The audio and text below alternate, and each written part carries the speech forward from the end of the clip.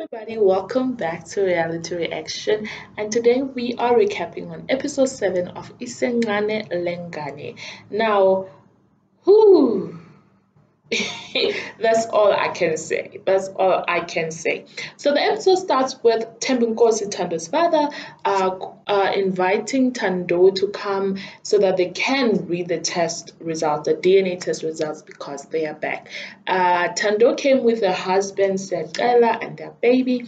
And they read the test results, and the test results came out to be 99.8% positive that Thembinkosi is Thando's biological father. Thembinkosi was so excited. He was happy. He expressed being proud of being Thando's dad.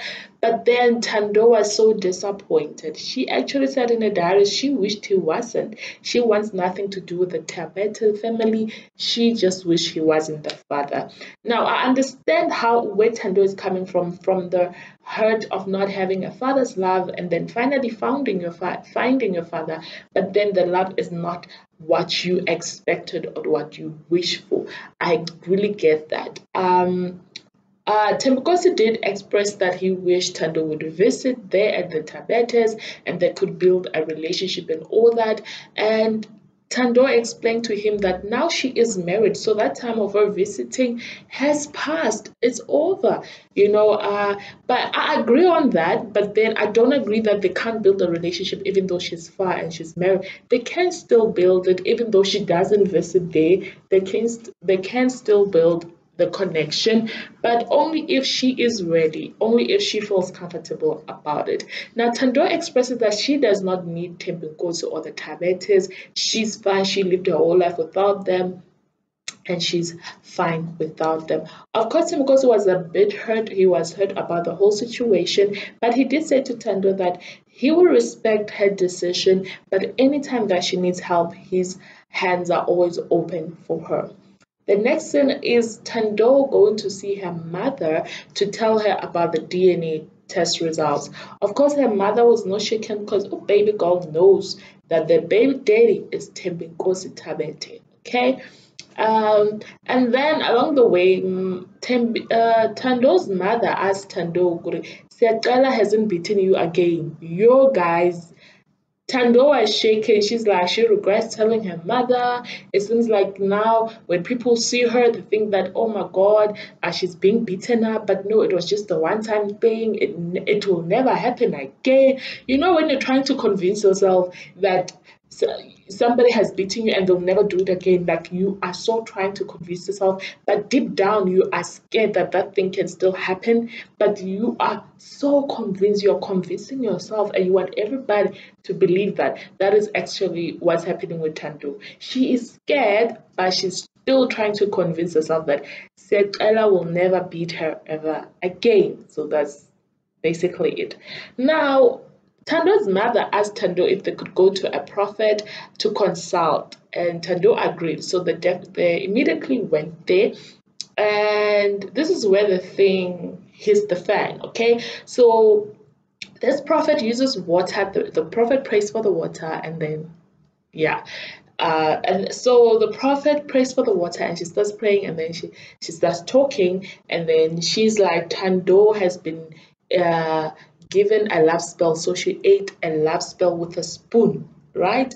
Thando in her diary, she was like, Siyacela has never cooked, he has never given her food, so it can't be Siyacela, right? Then the prophet goes deeper and say, uh, this person who did this is from your same household.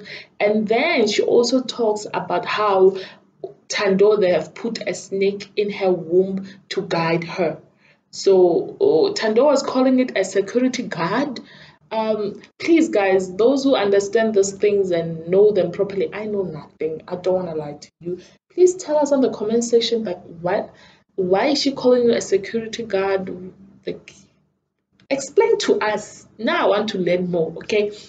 Uh oh the prophet also said that so if she had cheated uh, that the snake would have reported. So Siyacela would have found out that she has cheated if she had, because this snake is to guard her. Is this, that's what Thando is calling it a security guard, right?